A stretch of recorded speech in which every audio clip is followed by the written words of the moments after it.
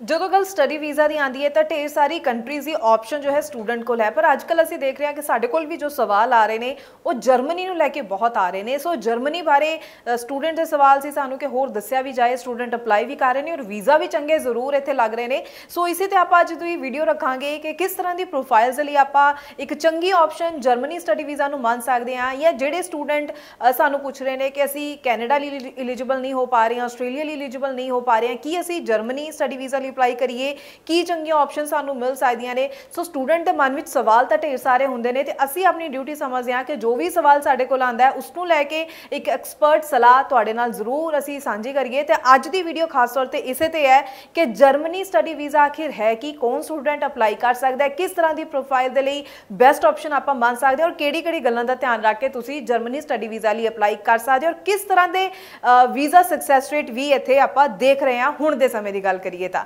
ਸਵਾਗਤ ਹੈ ਜੀ ਸਾਰਿਆਂ ਦਾ। ਮੈਂ ਹਾਂ ਹਰਜੋਤ ਕੌਰ। ਡਿਟੇਲ ਵਿੱਚ ਪੂਰੀ ਇਨਫੋਰਮੇਸ਼ਨ ਤੁਹਾਡੇ ਨਾਲ ਸਾਂਝੀ ਕਰਨਗੇ। ਸਟੱਡੀ ਸਕੇਅਰ ਐਜੂਕੇਸ਼ਨ ਤੋਂ ਐਕਸਪਰਟ ਕਾਉਂਸਲਰ ਕਿਰਨਦੀਪ ਕੌਰ ਸਾਡੇ ਨਾਲ ਨੇ। ਸਵਾਗਤ ਹੈ ਜੀ। ਸਤਿ ਸ਼੍ਰੀ ਅਕਾਲ। ਸਤਿ ਸ਼੍ਰੀ ਅਕਾਲ ਜੀ ਸਾਰਿਆਂ ਨੂੰ। ਮੈਂ Kirandeep Kaur from Study Square Chandigarh branch ਤੋਂ। ਜੀ ਸੋ ਕਿਰਨ ਜੀ ਜ਼ਰੂਰ ਆਪਾਂ ਜਿਵੇਂ ਮੈਂ ਸਟਾਰਟਿੰਗ ਵਿੱਚ ਗੱਲ ਗੱਲ ਕਰ ਚੁੱਕੀ ਹਾਂ ਜਰਮਨੀ ਸਟੱਡੀ ਵੀਜ਼ਾ ਨੂੰ ਲੈ ਕੇ ਤਾਂ ਤੁਸੀਂ ਜ਼ਰੂਰ ਇੱਕ ਐਕਸਪਰਟ ਸਲਾਹ ਸਟੂਡੈਂਟ ਨੂੰ ਇੱਕ ਇੱਕ ਪੁਆਇੰਟ ਕਿ ਜੇ ਉਹ ਡਿਸੀਜਨ ਲੈ ਰਹੇ ਨੇ ਜਰਮਨੀ ਸਟੱਡੀ ਵੀਜ਼ਾ ਲਈ ਅਪਲਾਈ ਕਰਨਾ ਕਿਉਂਕਿ ਆਪਾਂ ਹੁਣ ਦੀ ਗੱਲ ਕਰੀਏ ਬਹੁਤ ਸਟੂਡੈਂਟਸ ਦਾ ਰੁਝਾਨ ਆਪਾਂ ਦੇਖ ਰਹੇ ਹਾਂ ਸਟੂਡੈਂਟ ਅਪਲਾਈ ਵੀ ਕਰ ਰਹੇ ਨੇ ਵੀਜ਼ਾ ਵੀ ਆ ਰਹੇ ਨੇ ਤਾਂ ਕਿਸ ਤਰ੍ਹਾਂ ਦੀ ਆਪਸ਼ਨ ਤੁਸੀਂ ਅੱਜ ਦੇ ਸਮੇਂ ਵਿੱਚ ਮੰਨਦੇ ਹੋ ਜਰਮਨੀ ਸਟੱਡੀ ਵੀਜ਼ਾ ਨੂੰ? ਸੋ ਜਰਮਨ ਜੋ ਹੈ ਇਸ ਟਾਈਮ ਤੇ ਮੋਸਟ ਵਿਕਨ ਵਾਲੀ ਕੰਟਰੀ ਹੈ ਇਸ ਟਾਈਮ ਤੇ second most like preferable country है अमंग इंटरनेशनल स्टूडेंट्स ठीक है ਸੋ ਜਰਮਨ ਬੇਸਿਕਲੀ ਫੇਮਸ ਕਾਦੇ ਵਾਸਤੇ ਆ ਟੈਕਨੀਕਲ ਪ੍ਰੋਗਰਾਮਸ ਦੇ ਲਈ ਔਰ ਐਡਮਿਨ ਸੈਕਸ਼ਨ ਦੇ ਲਈ ਕਿਉਂਕਿ ਜਿੰਨੀਆਂ ਵੀ ਵੱਡੀਆਂ ਵੱਡੀਆਂ ਕੰਪਨੀਆਂ ਨੇ ਜਿਵੇਂ BMW ਮਰਸੀਡੀਜ਼ ਆਡੀ ਇਹ ਸਾਰੀਆਂ ਦਾ ਹੱਬ ਹੈ ਜਰਮਨ ਸੋ ਜੇ ਕੋਈ ਵੀ ਸਟੂਡੈਂਟ ਹੈ, ਜਿਹਦਾ ਪੀਟੀ ਜਾਂ ਆਇਲਸ ਜਾਂ ਟੋਫਲ ਦਾ ਸਕੋਰ ਘੱਟ ਹੈ, ਜਾਂ ਫਿਰ ਤੁਹਾਡੀ ਪਰਸੈਂਟੇਜ ਕਿਤੇ ਨਾ ਕਿਤੇ 50% ਹੈ ਲਾਸਟ ਸਟੱਡੀ ਚੋਂ, ਤੁਸੀਂ ਜਰਮਨ ਦੇ ਲਈ ਅਪਲਾਈ ਕਰ ਸਕਦੇ ਹੋ। ਨੋਮੀਨਲ ਫੀਸ ਸਟਰਕਚਰ ਹੈ। ਰੀਜ਼ਨ ਬਿਹਾਈਂਡ ਕਿਉਂਕਿ ਪਬਲਿਕ ਯੂਨੀਵਰਸਿਟੀਜ਼ ਵੇਵ ਆਫ ਦਿੰਦੀਆਂ ਨੇ ਟਿਊਸ਼ਨ ਫੀਸ ਤੇ। ਅਗਰ ਪ੍ਰਾਈਵੇਟ ਯੂਨੀਵਰਸਿਟੀ ਚ ਵੀ ਤੁਹਾਡੀ ਪ੍ਰੋਫਾਈਲ ਐਲੀਜੀਬਲ ਬਣਦੀ ਹੈ, ਤਾਂ ਉਹਦੇ ਚ ਵੀ ਨੋਮੀਨਲ ਚਾਰजेस ਨੇ। ਕੋਈ ਬਹੁਤ ਜ਼ਿਆਦਾ ਫੀਸ ਨਹੀਂ ਹੈ। 6 ਲੱਖ ਤੋਂ ਲੈ ਕੇ 8 ਲੱਖ ਚ ਤੁਸੀਂ ਆਪਣੀ 1 ਸਾਲ ਦੀ ਪੜ੍ਹਾਈ ਹੈ, ਜਿਹੜੀ ਉਹ ਪੂਰੀ ਕਰ ਸਕਦੇ ਹੋ। ਠੀਕ ਹੈ? ਐਂਡ ਕੋਈ ਐਪਲੀਕੇਸ਼ਨ ਫੀਸ ਨਹੀਂ ਹੈ। ਟਿਊਸ਼ਨ ਫੀਸ ਤੁਸੀਂ ਪੇ ਕਰਨੀ ਹੁੰਦੀ ਹੈ। ਇਸ ਤੋਂ ਇਲਾਵਾ 1 ਸਾਲ ਦਾ ਲਿਵਿੰਗ ਐਕਸਪੈਂਸ ਦਿਖਾਣਾ ਜਿਵੇਂ ਅੱਜ ਦੇ ਟਾਈਮ 'ਚ ਕੀ ਆ ਹਰ ਇੱਕ ਕੰਟਰੀ ਦੇ ਵਿੱਚ ਕੀ ਆ ਤੁਹਾਨੂੰ ਫੰਡਸ ਦਿਖਾਣੇ ਪੈਂਦੇ ਆ। ਇਦਾਂ ਦਾ ਜਰਮਨੀ 'ਚ ਕੋਈ ਸਟਰਕਚਰ ਨਹੀਂ ਹੈ। ਤੁਸੀਂ ਆਪਣਾ ਬਲੌਗਡ ਅਕਾਊਂਟ ਓਪਨ ਕਰੋ, ਸਾਲ ਦੀ ਟਿਊਸ਼ਨ ਫੀਸ ਦਿਓ ਐਮਬੈਸੀ ਨੂੰ ਅਪਲਾਈ ਕਰੋ ਤੇ ਆਪਣਾ ਵੀਜ਼ਾ ਜਿਹੜਾ, ਉਹ ਤੁਸੀਂ ਲੈ ਸਕਦੇ ਹੋ।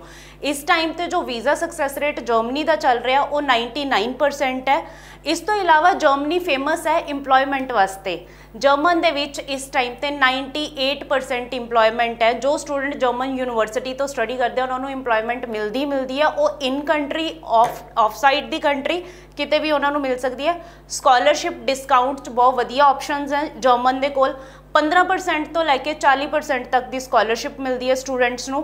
ਇਸ ਤੋਂ ਇਲਾਵਾ ਸਭ ਤੋਂ ਵਧੀਆ ਜੋ ਪਲੱਸ ਪੁਆਇੰਟ ਹੈ ਜਰਮਨ ਸਟੱਡੀ ਵੀਜ਼ਾ ਦਾ ਬੱਚੇ ਨੂੰ ਸ਼ੈਨਗਨ ਵੀਜ਼ਾ ਮਿਲਦਾ ਹੈ ਜਿਹਦੇ ਚ 29 ਕੰਟਰੀਜ਼ ਚ ਬੱਚਾ ਬਿਨਾ ਵੀਜ਼ੇ ਤੋਂ ਟਰੈਵਲ ਕਰ ਸਕਦਾ ਹੈ ਕਿਸੇ ਵੀ ਕੰਟਰੀ ਦੇ ਵਿੱਚ ਠੀਕ ਹੈ? ਇਹ ਸਭ ਤੋਂ ਵੱਡਾ ਪਲੱਸ ਪੁਆਇੰਟ ਹੈ। Moreover post study work rights ਬਹੁਤ ਵਧੀਆ ਨੇ ਜਰਮਨੀ ਦੇ ਤੁਸੀਂ 18 ਮਹੀਨੇ ਦਾ post study work search visa ਜਿਹੜਾ ਉਹ ਅਪਲਾਈ ਕਰ ਸਕਦੇ ਹੋ। ਇਸ ਤੋਂ ਇਲਾਵਾ ਬਲੂ ਕਾਰਡ ਦੀ ਆਪਸ਼ਨ ਵੀ ਹੈ ਸਟੂਡੈਂਟ ਦੇ ਕੋਲ ਜੇ ਤੁਹਾਡੇ ਕੋਲ ਫੁੱਲ ਟਾਈਮ ਕੰਟਰੈਕਟ ਹੈ ਡਿਊਰਿੰਗ ਸਟੱਡੀ ਔਰ ਆਫਟਰ ਫਿਨਿਸ਼ ਦੀ ਸਟੱਡੀ ਤੁਸੀਂ ਬਲੂ ਕਾਰਡ ਸਿੱਧਾ ਮੀਨਸ 4 ਸਾਲ ਦਾ ਵਰਕ ਪਰਮਿਟ ਅਪਲਾਈ ਕਰ ਸਕਦੇ ਹੋ ਔਰ ਪੀਆਰ ਦੀਆਂ ਬਹੁਤ ਵਧੀਆ ਆਪਸ਼ਨਸ ਨੇ। ਮੀਨਸ ਸਟੂਡੈਂਟ ਕਿਸੇ ਵੀ ਕੰਟਰੀ 'ਚ ਤੁਹਾਡੀ ਪ੍ਰੋਫਾਈਲ ਐਲੀਜੀਬਲ ਨਹੀਂ ਬਣ ਰਹੀ, ਤੁਸੀਂ ਜਰਮਨੀ ਦੇ ਵਿੱਚ ਅਪਲਾਈ ਕਰ ਸਕਦੇ ਹੋ ਕਿਉਂਕਿ ਜਰਮਨੀ ਇੱਕ ਇਦਾਂ ਦੀ ਡੈਸਟੀਨੇਸ਼ਨ ਹੈ ਜਿਹਦੇ 'ਚ ਤੁਹਾਨੂੰ ਨੰਬਰ ਆਫ ਓਪਰਚ्युनिटीज ਮਿਲ ਰਹੀਆਂ, ਤੁਸੀਂ ਘੱਟ ਫੀਸ ਤੇ ਆਪਣਾ ਵਿਦੇਸ਼ ਪੜ੍ਹਾਈ ਕਰਨ ਦਾ ਸੁਪਨਾ ਹੈ ਜਿਹੜਾ, ਉਹਨੂੰ ਪੂਰਾ ਕਰ ਸਕਦੇ ਹੋ। ਜੀ ਜੀ ਜੀ, ਬਿਲਕੁਲ ਤਾਂ ਕਿਰਨ ਜੀ ਮੈਂ ਜ਼ਰੂਰ ਚਾਹੂੰਗੀ ਕਿ ਤੁਸੀਂ ਇਨਟੇਕਸ ਨੂੰ ਲੈ ਕੇ ਵੀ ਸਟੂਡੈਂਟਸ ਨੂੰ ਜ਼ਰੂਰ ਅਵੇਅਰ ਕਰੋ, ਜਿਹੜੇ ਸਟੂਡੈਂਟ ਅਗਰ ਅਪਲਾਈ ਕਰਨਾ ਚਾਹਣ ਔਰ ਜ਼ਰੂਰ ਇਹ ਦੱਸਣਾ ਕਿ ਆਪਾਂ ਜਦੋਂ ਵੀਜ਼ਾ ਸਕਸੈਸ ਰੇਟ ਦੀ ਗੱਲ ਕਰਦੇ ਹਾਂ ਤਾਂ ਕਿੰਨੀ ਰੇਸ਼ੋ ਵਿੱਚ ਪੋਜ਼ਿਟਿਵ ਰਿਜ਼ਲਟ ਦੇਖੇ ਜਾਂਦੇ ਨੇ। ਓਕੇ ਸੋ ਜੇ ਆਪਾਂ ਇਨਟੇਕ ਦੀ ਗੱਲ ਕਰੀਏ, ਤਾਂ ਪਬਲਿਕ ਯੂਨੀਵਰਸਿਟੀ ਦੇ ਸਿਰਫ ਦੋ ਹੀ ਇਨਟੇਕ ਨੇ, ਇੱਕ ਹੈਗਾ summer intake second winter intake public university the application opening and closing ਦੀਆਂ ਕੁਝ ਡੈਡਲਾਈਨਸ ਨੇ, ਠੀਕ ਹੈ? ਐਂਡ ਅਗਰ ਪ੍ਰਾਈਵੇਟ ਯੂਨੀਵਰਸਿਟੀ ਦੀ ਗੱਲ ਕਰੀਏ, ਤਾਂ ਸਭ ਤੋਂ ਵੱਡੀ ਫਲੈਕਸੀਬਿਲਿਟੀ ਇੱਥੇ ਰੋਲਿੰਗ ਇਨਟੇਕਸ ਹੈ। ਮੀਨਸ ਤੁਸੀਂ ਜਨਵਰੀ ਫੈਬਰੂਅਰੀ ਮਾਰਚ ਅਪ੍ਰੈਲ ਹਰ ਇੱਕ ਯੂਨੀਵਰਸਿਟੀ ਕਿਸੇ ਨਾ ਕਿਸੇ ਇਨਟੇਕ 'ਚ ਤੁਹਾਨੂੰ ਪ੍ਰੋਗਰਾਮਸ ਹੈ ਜਿਹੜੇ ਉਹ ਪ੍ਰੋਵਾਈਡ ਕਰਦੀ ਹੈ। ਠੀਕ ਹੈ ਅਗਰ ਵੀਜ਼ਾ ਸਕਸੈਸ ਰੇਟ ਦੀ ਗੱਲ ਕਰੀਏ ਤਾਂ ਇਸ ਟਾਈਮ ਤੇ ਜਰਮਨ ਦਾ ਜੋ ਵੀਜ਼ਾ ਸਕਸੈਸ ਰੇਟ ਹੈ ਉਹ 99% ਆ ਰਿਹਾ ਹਾਈ ਕਮਿਸ਼ਨ ਤੋਂ ਠੀਕ ਹੈ। ਚਾਹੇ ਤੁਸੀਂ ਬੈਚਲਰ ਦੇ ਲਈ ਅਪਲਾਈ ਕਰ ਰਹੇ ਹੋ ਚਾਹੇ ਮਾਸਟਰਸ ਦੇ ਲਈ ਅਪਲਾਈ ਕਰ ਰਹੇ ਹੋ ਵੀਜ਼ਾ ਇਸ ਟਾਈਮ ਤੇ ਹਾਈ ਨੋਟਸ ਤੇ ਨੇ।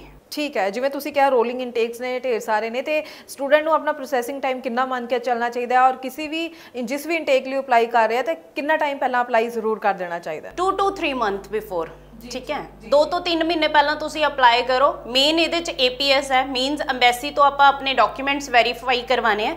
ਜੇ ਆਪਣੇ ਕੋਲ APS ਸਰਟੀਫਿਕੇਟ ਹੈਗਾ ਤਾਂ ਆਪਣੇ ਕੋਲ 1 ਮੰਥ ਦੇ ਅੰਦਰ ਅੰਦਰ ਸਾਰਾ ਪ੍ਰੋਸੈਸ ਹੈ ਜਿਹੜਾ ਉਹ ਕੰਪਲੀਟ ਹੋ ਜਾਂਦਾ ਹੈ। ਐਮਬੈਸੀ ਜੋ ਹੈ ਉਹ 1 ਮਹੀਨੇ ਦਾ ਟਾਈਮ ਜ਼ਰੂਰ ਲੈ ਰਹੀ ਹੈ।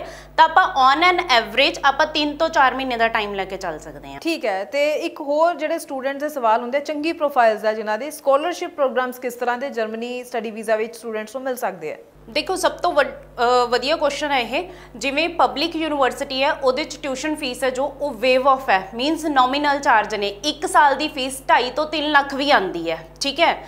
ਅਗਰ ਉੱਥੇ ਪ੍ਰਾਈਵੇਟ ਯੂਨੀਵਰਸਿਟੀ ਦੀ ਗੱਲ ਕਰੀਏ, ਤਾਂ ਪ੍ਰਾਈਵੇਟ ਯੂਨੀਵਰਸਿਟੀ ਦੀ ਫੀਸ ਆਫਟਰ ਸਕਾਲਰਸ਼ਿਪ ਜੇ ਆਪਾਂ ਗੱਲ ਕਰੀਏ, ਤਾਂ 5 5.5 ਲੱਖ ਤੋਂ ਲੈ ਕੇ 9.5 10 ਲੱਖ ਦੇ ਅਰਾਊਂਡ ਹੀ ਫੀਸ ਹੈ 1 ਸਾਲ ਦੀ।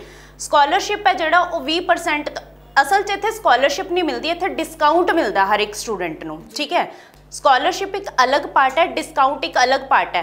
Reason behind public universities waive off ਹੈ ਤਾਂ ਪ੍ਰਾਈਵੇਟ ਯੂਨੀਵਰਸਿਟੀਜ਼ ਹਰ ਇੱਕ ਸਟੂਡੈਂਟ ਨੂੰ ਡਿਸਕਾਊਂਟ ਦਿੰਦੀਆਂ ਜੋ ਕਿ 20% ਤੋਂ ਲੈ ਕੇ 40% ਤੱਕ ਦਾ ਹਰ ਇੱਕ ਸਟੂਡੈਂਟ ਨੂੰ ਮਿਲਦਾ। ਬੀਟ ਉਹ ਸਟੂਡੈਂਟ 50% ਵਾਲਾ ਆ ਰਿਹਾ ਚਾਹੇ ਉਹ 80 90% ਵਾਲਾ ਸਟੂਡੈਂਟ ਆ ਰਿਹਾ ਜੀ ਜੀ ਜੀ ਠੀਕ ਹੈ ਬਿਲਕੁਲ ਤੇ ਜਿਵੇਂ ਆਪਾਂ ਗੱਲ ਕਰੀਏ ਜਿਹੜੇ ਕੋਈ ਸਟੂਡੈਂਟ ਨੂੰ ਕਿਸੇ ਕੰਟਰੀ ਤੋਂ ਅਗਰ ਰਿਫਿਊਜ਼ਲ ਮਿਲ ਚੁੱਕੀ ਹੈ ਉਹ ਵੀ ਅਪਲਾਈ ਕਰ ਸਕਦੇ ਨੇ ਉਹਨਾਂ ਦੇ ਵੀ ਚੰਗੇ ਚਾਂਸਸ ਆਪਾਂ ਮੰਨ ਸਕਦੇ ਹਾਂ। ਬਿਲਕੁਲ ਜੀ ਬਿਲਕੁਲ।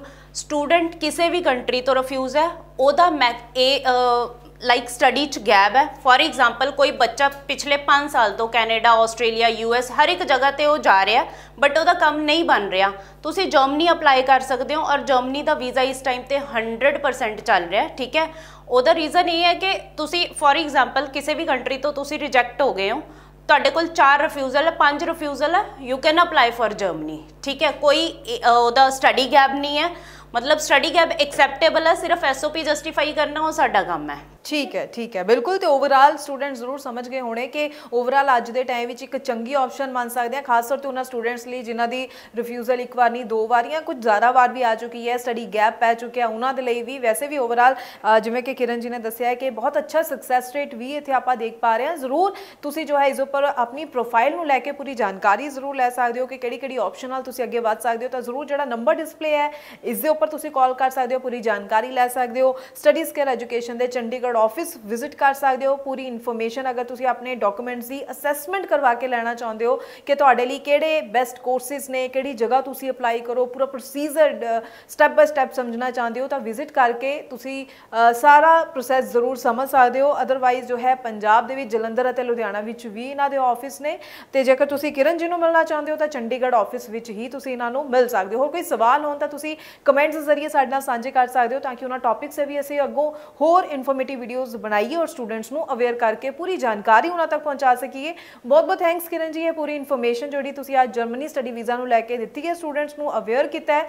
ਅੱਗੋਂ ਵੀ ਅਸੀਂ ਸਟੂਡੈਂਟਸ ਲਈ ਇਸੇ ਤਰ੍ਹਾਂ ਨਾਲ ਹੋਰ ਇਨਫੋਰਮੇਟਿਵ ਵੀਡੀਓਜ਼ ਲੈ ਕੇ ਆਉਂਦੇ ਰਵਾਂਗੇ। ਫਿਲਹਾਲ ਲਈ ਦਿਓ ਜੀ ਇਜਾਜ਼ਤ। Thank you so much thank you